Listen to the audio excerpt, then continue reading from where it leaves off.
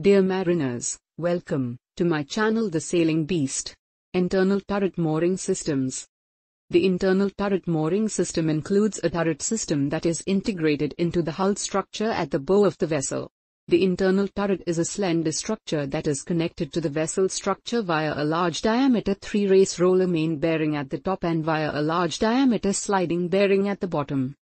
The slender turret shaft ensures that the horizontal loads from the risers and mooring lines are transferred via the sliding bearing to the vessel, while the remaining forces from the turret and the vertical loads from the risers and mooring lines are transferred via the three-race roller bearing.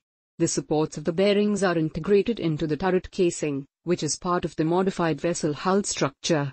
Typically the turret casing is a cylindrical structure that is integrated between the bottom and the deck of the vessel and transfers the turret loads via the vessel web frames to the vessel hull structures. The turntable decks are positioned on top of the three-race roller bearing.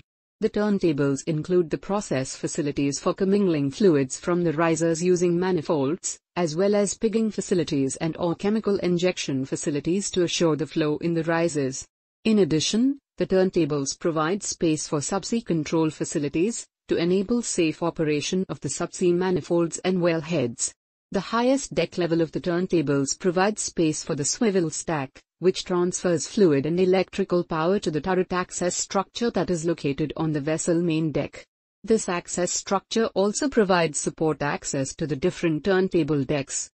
Please like, share and subscribe. And don't forget to hit the bell icon for updates on upcoming videos. In this video we will discuss